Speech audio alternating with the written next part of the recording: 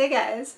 So it's almost July, uh, which means that my baby is almost a year old. Um, man, I keep thinking about last year, like as the weather's getting hotter and thinking about maternity leave, how a year ago I was like super pregnant and doing a lot of walking partly to try to get the baby to turn head down and partly because it was getting really hot in the house and I just needed to be out where the air was moving a little bit. Anyway, I um, didn't really give a birth story at the time. Um, I posted a couple quick update videos that were sort of unedited.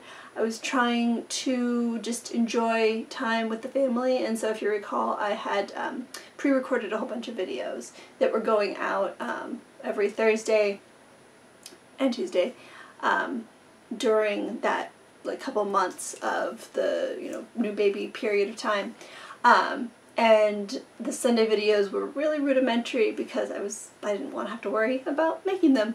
Uh, so like I said, I never made a birth story video, but I figured that as we're coming up on the year anniversary, I, I'll tell you the story now. And basically, this is everything that I can remember about the birth experience. So taking into the consideration that you tend to forget a lot of stuff uh, you tend to forget like the hard parts and the painful parts, I think. Um, it's a lot harder when you're in the trenches. Um, and we're at the point now where everything is starting to look a little bit rosy and I'm like, yeah, I could do that again. Um, but anyway, like I said, uh, the baby was breech and so I was trying to get her to be head down so that I could have a vaginal delivery. I was going to the chiropractor like two or three times a week. I was walking every single day. I was doing these like inversions and tilts. If you go to spinningbabies.com, I think, um, it's like a whole set of things to try to get the baby in, in alignment and engaged. Um, and she just didn't want to. I had an ECV. The I did a whole video about that up there, um, about the external cephalic version um, that I went through, and my goodness, like, I don't regret doing it, and I think if I had to do it again, I would opt to give it a shot because I think it's worth it if it works. Um, but they say it's about 50-50, and I was the 50% that it didn't work. They pushed two, three times. One of the doctors had like really long nails and scratched me. Um, it hurt so much. Now, as we'll get to, I never have had a contraction, so I can't tell you how that compares. All I know is that I was gasping in pain, squeezing my husband's hand as hard as I could, um, and it didn't end up working. So anyway, because of that, um, we had to schedule a C-section. They would have done it any time after 39 weeks, but I decided I wanted to have her on her due date. Um, partly because I figured let's do it, you know, at least when she's full term, um, you know, 40 weeks. Uh, one sort of silly reason is that I like July's birthstone a lot better than June's. Like, July has a ruby, and June has a pearl. A pearl's not even a stone, except in the way that a gallstone is a stone. Anyway, we scheduled the C-section for Monday the 2nd, um, which was my due date. And so we go in that morning, or okay, the night before, they give you these wipes to like, they're like prep wipes for surgery. I think it's for any surgery they give these to you and they're like these like thick wet wipes and you're supposed to use them on like every surface of your body basically. The thing about them is like they leave this sort of sticky residue that I did not really enjoy but anyway you do that the night before and then the morning of um, we went to Mass the morning of because the timing worked out. Um, my parents had come into town the night before. So we had dinner. Um, we went to Karl Strauss and I had a root beer because I was still pregnant. Um, and then, yeah, the morning of we went to Mass and they were there. I think my mother-in-law was also there. One, one of my in-laws was there also. Um, but I really didn't want them to come to the hospital during the surgery. I think they may have, um, but I told them that I didn't want to know about it. I said, I can't stop you, but I don't want to know about it. Because the way I told them, like, I don't want to have to be worrying about you when I just want to be worrying about me and the baby and my husband. Like, that's what's important. You guys can come whenever. Um, basically, I just, I didn't want to have to worry about them and I didn't want to be, I didn't want to feel rushed. Wanted to be able to enjoy that golden hour and, um, you know, that, that bonding skin to skin time and all of that um, without worrying about anyone, like, feeling impatient. Um, one thing is the hospital had terrible reception, and so it was they were getting impatient just because Gina wasn't able to reply to their texts. But again, I, I think I'm going to be very recursive here. So we check into the hospital at I think nine o'clock, and the surgery was scheduled for eleven o'clock. So you go to the labor and delivery check-in, um, at our hospital, you don't have to go through the ER or anything when you're in labor, which is nice. You just go straight up to labor and delivery. Um, checked in at the window. I felt really silly. There's like a chair that's designated for the mother that's there. Um, I think it had a puppy pad on it, I guess in case your water breaks. Um, and it just felt super weird being there in no kind of labor whatsoever.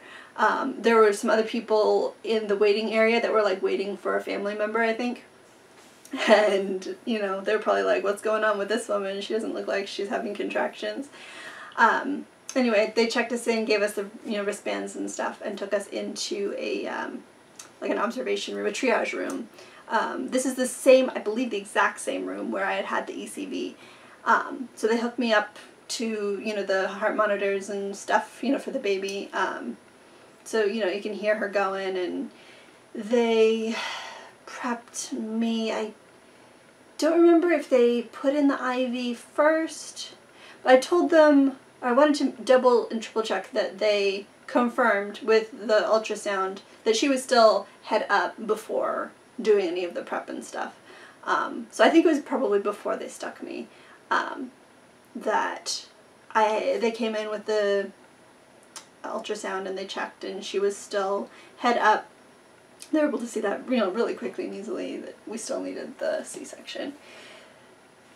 To get out of the way, yes, I know it's possible to have a breech baby vaginally, but um, in the U.S. hospital system, it's just they're not trained for that as much. It's just safer to have the C-section. Um, you know, you're just going to have fewer complications that way, and so I was definitely okay with that. Um, fortunately, I had a few weeks to get ready for it, like mentally.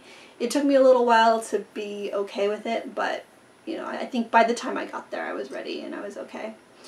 Um, I don't remember what order all of this happened in triage, but I know that I got an IV. Um, I know they drew a vial of blood for testing and stuff. I think they're, I mean, they're typing it, right? And they're probably doing some other stuff just to make sure all of my, I don't know, I don't know. But um, I remember the one nurse, she was getting me my consent forms because, you know, I was signing for, for my consent forms and she was like, any consents for a tubal today? And I'm like, uh, no thank you. I just thought it was so weird, the tone of voice where she was like, hey, would you rather have no children ever again? And I was like, yeah, no thank you. This is our first. Um, like you know i'm not going to get into theology or morals or ethics or whatever and why i would never but um it just seemed really weird uh they yeah were just monitoring the baby monitoring me they had this you know uh blood pressure cuff on me and i was in there for well like i said 9 to 11 it was at least an hour and a half of just laying there and waiting um i remember one of the very last things, like they gave my hus my husband like a scrubs, like paper scrubs to put on and a cap. And they gave me a cap too. And right before that, I wanted to like redo my hair, but I had the cuff and the um, the IV in this arm. I don't remember what was happening on this side. Um, and so I couldn't like pull it up myself. And so I had to have my husband pull it up and do a ponytail for me. Um, and he did a really terrible job because you know he didn't have a daughter yet and so that was the way my hair was for like the rest of that day because I wasn't able to fix it again um, anyway I'm hooked up to like bags of IV drips and things. They put a couple of drugs in me that I don't remember what they do. They weren't anything um, anesthetic yet, and I don't know if I was on an antibiotic yet or if that came later, but there was definitely, um, I think I got two bags of saline before going in. Um, and I think it was, is it the second one that was, I, I don't know if it was set differently or if it was just flowing faster than usual, but it was like right before we went in. Um, we stood up, walked, like the nurse had the pole with the IV and I was walking um, down the hall into the OR like through recovery and into the OR itself. And it is the most surreal experience. Like you see on TV, you see, you know, ORs all the time on medical shows and whatever, but it's always people being rolled in on a gurney and I was just walking in of my own power, you know, and the nurse was holding the hospital gown shut with one hand and, and pushing my IV thing in the other. So I was like, what do I do with my hands? I'm just walking along. Um, so we get in there. We walk around the table for some reason get up and sit down and then they have me like lean over with the pillow to put in my um, my spinal because it was a spinal block and the second IV bag was like like I said going really fast for some reason I don't know if it was maybe my heart rate has something to do with it I, am not a doctor um, but anyway I was sitting there holding this pillow and I start shaking and I felt like, oh my gosh, I didn't think I was this nervous that I would be physically, visibly shaking like this. And so I asked, like, is this is this just nerves, or did you put something in the IV? And they're like, eh, it's just saline. And I was like, oh my gosh, now I feel like a like a wimp. You know, it's like I, I thought I was a strong woman capable of handling this, and apparently I'm coming to pieces. I haven't even done the spinal yet. Um, and I remember the um, the I don't know what the title is, but there's like a nurse who's like the master of ceremonies in the OR. She spent most of the time over at this this computer in the corner logging everything and making sure everybody was doing everything. Um, so she seemed to be like in charge. But she came over and she put her arms around me and just gave me this tight hug as I was holding this pillow and the anesthesiologist was behind me putting in the spinal.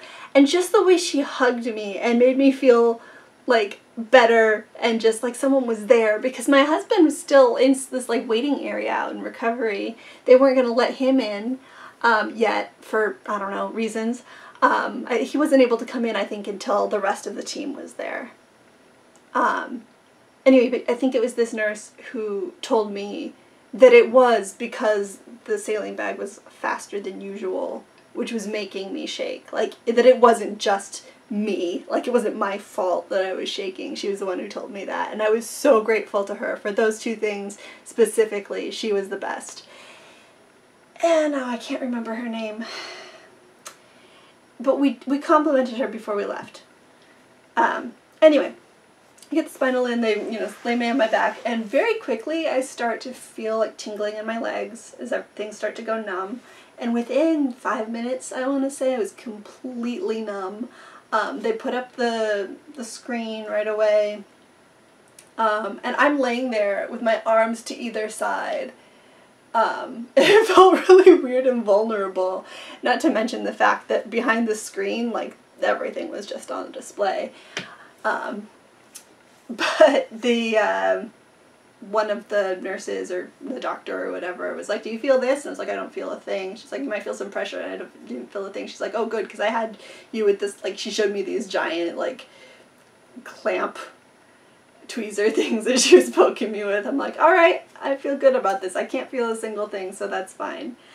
Um, in the pictures, it doesn't look like the screen is going to be that close to you. It feels like it's going to be here, you know, and then you have, you know, space, but it, it was really like super, I mean, I guess it was below my boobs, but it felt like it was right in my face, um, which was weird. It made me, it wasn't like claustrophobic, because the room was quite big. One thing I appreciated about the room is that I could clearly see an analog clock on the wall. So I know that we went in around on time. I think we started give or take five minutes from 11. And I was able to see, you know, time elapsing, which just felt, made things feel a little bit less surreal because um, I was kind of grounded by that passage of time. Um, so every single time the door opened during prep, I was looking looking up over my shoulder. See, is that my husband? Is that my husband? it was finally finally he was able to come in and everything just felt better because I wasn't alone. Um, you know, in a room if everybody knows what they're doing, they're all very clinical and I'm like, I don't know what I'm doing. So he came there and he didn't know what he was doing either, so it was good. Um, and they started doing stuff. They were, you know, talking and doing whatever. Um, oh, the the doctor, the OB asked if I had any preference for music. I said I didn't, and he put on whatever his playlist was, and I literally didn't even hear it. I have no idea who was playing. I kind of want to ask my husband if he noticed because I'm kind of curious what song was playing when my daughter was born, but I was like not even registering the music. I was just trying to focus on the sensations and stuff. So as they were getting started, I started to feel like I was having trouble breathing. And I was like starting to freak out a little bit. And I almost said something until I remembered hearing in somebody else's C-section experience video on YouTube, honestly no idea whose, but that they had heard, the anesthesiologist had told them that one of the drugs makes it like, or maybe maybe it's actually the um, the anesthesia that it numbs your diaphragm or something like that that basically you can't feel yourself breathing. And so it feels like you're not getting enough air and then you start to hyperventilate. And i did start to i think feel like i was about to start hyperventilating with like i get tingly. But um, as soon as i remembered that i was like okay just focus on regulating your breath and then i felt fine i was able to you know power through and it was fine because, I mean, part of me was like, oh yeah, you know, if I can't have a natural birth, I'll, you know, go without as much as I can. Because I didn't want to be loopy. You know, I wanted to experience everything I could. So I'm glad, like, I wouldn't have rejected anything that they needed to give me, but I'm kind of glad that I, I felt like I was perfectly present the entire time. Um, I just couldn't feel anything physically. They say you can feel tugging. I did not. I was laying there and I remember thinking to myself, just don't think about the incision, don't think about the incision. I kept telling myself, they haven't started yet. They haven't started yet. They haven't done anything yet until they go, here she comes, Gino, look. And he stands up and they, you know, the baby's coming out. And I, he didn't get a picture of the baby coming out, unfortunately he was too in awe and he was making like wowed noises. Um, and then everyone started exclaiming um, that uh, apparently she like pooped on the way out. I assume that they caught it all because I didn't get sepsis, so um, that was fun. I guess she, she pooped right on the way out, and so they were like, oh! And then um, she wasn't making noise at first, which I, you know, I know that that's like fine and normal, but the fact that I couldn't see a thing, I could not see her. I just, I was told that she was out, but I couldn't hear her.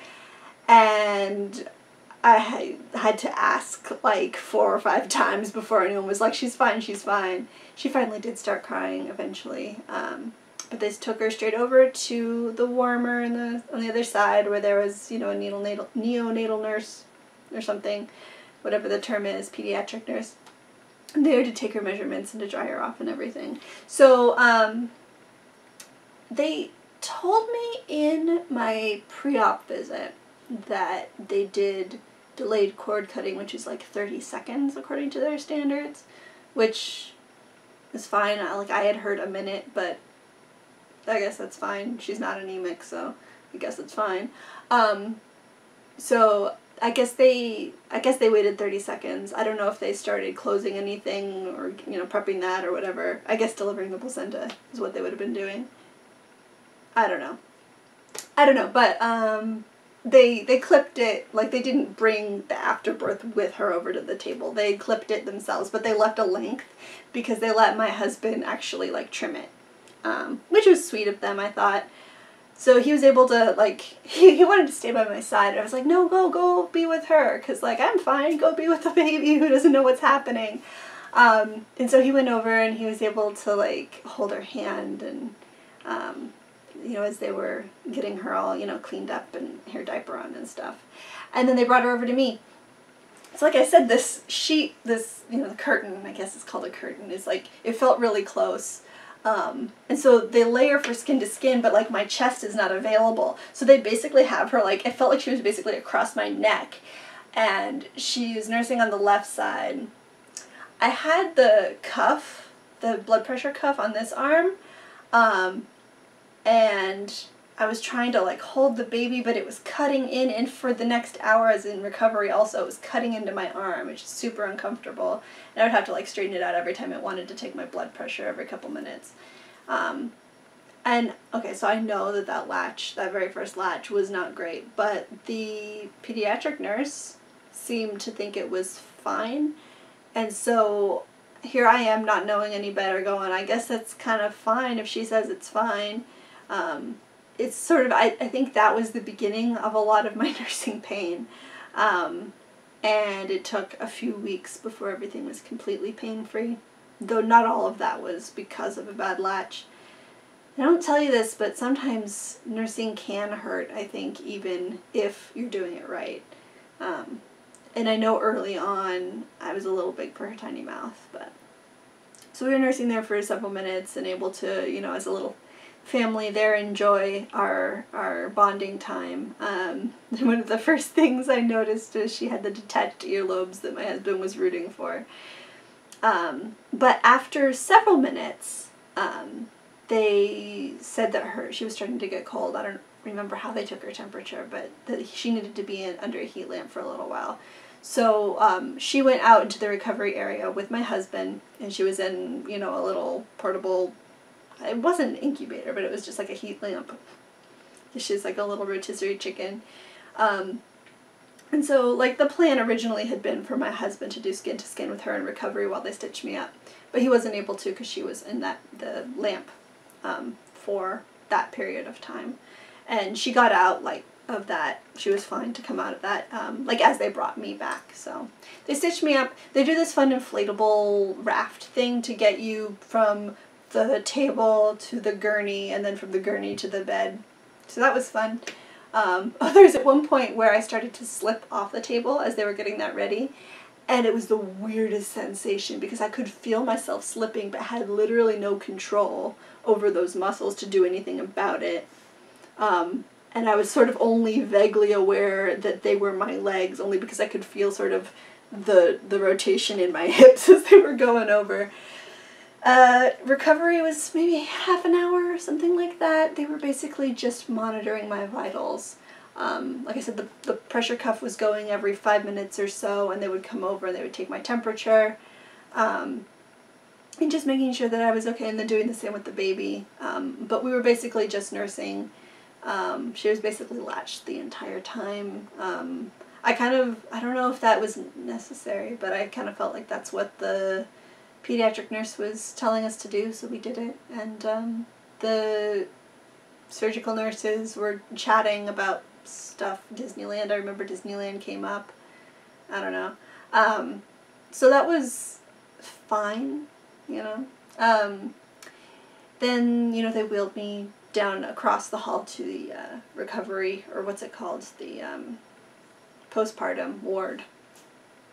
Hit the button for um, the there's like a mural, mural it's a painting there's a button and it plays a lullaby in the hospital. So that gets hit on your way from labor and delivery into postpartum.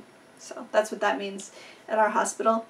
Um, and because I was on a gurney then um, the baby rode with me. Um, I think normally if you're I'm not sure actually if I had been in a wheelchair, if she would have been on my lap or if she would have been in the bassinet. But anyway, uh, we get into our room and it, I don't think it was much late longer after that that they let our parents in come say hi. And I feel like the very first sight my daughter got of her grandparents was of them holding phones in her face, taking pictures. I was like, oh look, it's Lolo and Lola iPhone. Um, but yeah, they were basically there most of the time during the day, you know, family and friends visiting. And honestly, a lot of people say that like they don't they didn't like having family visit in the hospital, that it was they, you know, distracting them from their bonding time or whatever. The fact is, and I don't know if it's because of the C-section, but I didn't really start to bond with her until after we'd come home, at least day three or four, that she really felt like mine. Um, I really just felt like I was babysitting a baby that I didn't know how to deal with, but you know, I guess I gotta do it, you know, and these are the things that I know I'm supposed to do from the classes, and let's just get through this. Um, and so I didn't feel hormonal or anything when people wanted to hold her. So basically, I found that, like, from that standpoint, those first couple days were actually a really perfect time for family to come and meet her and hold her um, and sort of let me just recover um, in the bed by myself. Um, whereas a few days later, um, I started to get to that baby blues, you know, hormone dump, irrational kind of mama bear where I just didn't want anybody to hold her, and even though my rational mind could hand her over, my mama bear mind was like, give her back, give her back. Uh, you're gonna take my daughter. No, no. Um, so the first couple days were better for that. Anyway, about the first day completely paralyzed. Not paralyzed, but like I, it took several hours for the, the spinal to wear off. Um, they would come in and ask me to wiggle my toes and um, they came in and they would, you know, change out my puppy pad every every so often and check on me, take a look at my incision. Um, and I was cathed until the next morning. Um, and yeah, they finally, it was like, it was, was it the next, yeah. So, okay, it was from, the baby was born around noon, and it was until the next morning that I was stuck in bed. Um, and so my husband got really good at changing diapers during that time, and I don't think I had to deal with any straight meconium. I had transitional poop by the time I was dealing with it, but he changed all of the hospital diapers. Um, so that was that was nice. Um, I got really itchy. Oh man, I got so thirsty because I hadn't had anything to drink since the night before. Um, so it had been 12 hours since my last drink. And my third trimester craving was ice water. Oh my gosh. I was carrying like this thermal cup around with me wherever I went. It was like mostly ice. Um, and so I was so thirsty and they wouldn't give me anything to drink until we got to postpartum. And then, yeah, I was drinking a lot of water, which is good. I was on a liquid diet, which is boring. Um, it's like broth, jello, um, but the lemon ices were quite good. I kept ordering those even after I was allowed to eat solids. Um, what else? I got off that liquid diet. It was after I was able to get up. So yeah, the next morning they they took out the catheter. They um, put me in the mesh panties. They got me up, you know, sitting and standing, and then I had to start doing laps as often as possible. Um, you know, walking around the halls with the the bassinet, the baby. Um, who obviously would rather be held than laid down, but she did good.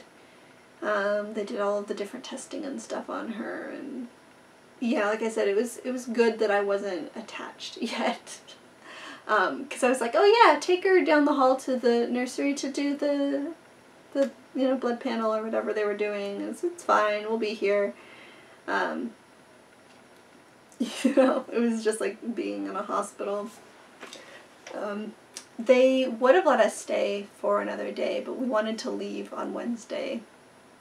Um, I mean, to be honest, mostly because I just didn't want to pay for another hospital another day, because um, the max I think it's like you pay per day until you're there for like four or five days, and then it's covered. With the way our insurance was working, so I just wanted to I wanted to get home, um, and I just wanted to, you know, not have all of the beeping and the incessant, you know. Like, yeah, it's hard to sleep with a new baby, but it's even harder in a hospital with a new baby. But that being said, I was grateful that we were there for two nights. Um, because I've heard that this is actually a thing that like the second night is harder than the first night. The first night she's we're all still kind of in a bit of a daze, um, but the second night she cried for I want to say an hour and a half, something like that, before some um, physician's assistant, medical assistant. She was wearing a t-shirt, not scrubs, so I don't know if that means anything. Um, she came in, took pity on us, and took Agnes from Gino and was like, here, I think she really has gas and needs to be burped. So she helped with that. the poor thing. It was just, yeah, a lot of, a lot of crying. And at that point, there's nothing in between. It's just crying or not crying.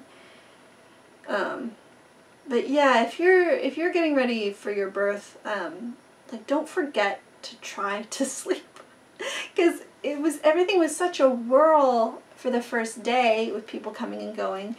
Then it was like visiting hours were over, um, and it started to you know it was like then dinner, and then it was just me and my husband and the baby, and it gets dark outside, and it doesn't even occur to me until it's late, like 10, 11, whatever, that like, oh yeah, it's nighttime, we should be sleeping. Um, and so that already truncated our sleep time, plus the baby getting up and needing to eat every couple of hours. The nurses would come in and ask us how long did she nurse on each side, what time, um, when were her diapers, was it poopy or was it pee? Uh, you had to remember all of that. And I didn't have like access to my stuff really so most of my hospital bag stuff. Um, check out the post-hospital bag visit, hospital stay bag video up there. Um, that, that'll show you what I actually ended up using and didn't use from my bag, and it was, I did not use very much at all. Um, but if I had to do it over again, I think I would darn what people think and just use cloth pads in the hospital because I just did not enjoy the plasticky, papery situation. I never have. That's why I use cloth, and it's not nice. But oh my gosh, yeah, that's. Yeah, I remember um, middle of the night wake ups. My husband was over on the like sofa bed. The bassinet was next to my bed. But I, I mean, if you've ever had a C-section, you know that it's like trying to get up when you're pregnant, except worse. Um, getting up out of bed to try to get her. Like that's one thing, but then trying to get out of trying to get back in with her in my arms so I could nurse her. And then when she fell back asleep after that, I wanted to like because I they nailed it into me. Do not fall asleep with the baby on top of you, right? Like cuz that's not safe. And I don't know why I didn't just call a nurse actually and have her that's for the do-over too. Call the nurse and have the nurse put the baby back in the bassinet because I didn't want to wake up my husband. Or I tried to wake up my husband, but I couldn't without making enough racket to wake up other moms, you know. And so I tried my hardest to try to, you know, get her up and but I found nursing to be really um, there's an adjective for something that makes you sleepy whatever that is. That's what nursing is for me. Um, was for me. It's not anymore. but yeah. All right, I think that's everything I have to remember. As I say it, it's like I don't have that visceral memory anymore of precisely how much pain I was in, how difficult it was to fart for the first time, to poop for the first time after I got home, how difficult it was to get into bed and to stand up again, how much it hurt when she nursed. Like all of that I have intellectual memories of, but I think it's a biological imperative that we don't like remember it very well after a while. Um, because, you know, if I'm going to do it all over again, we want to have more kids, so that's the story. Thanks for watching. I hope that that was interesting for you. Um, as yeah, it's not an atypical story, but it's less common to not have any contractions whatsoever. And if anything, I want to have another kid just so I can see what that's like. Hoping for a VBAC next time, but in case you're asking, we don't we're not, don't have any announcements, so anyway. Thank you for watching. Subscribe so that you don't miss my next videos, which are going to be on Thursday, is uh, Plan With Me already. And then July, look forward to July, I'm going to be doing stuff. Stay tuned, okay? Alright, see you then. Bye.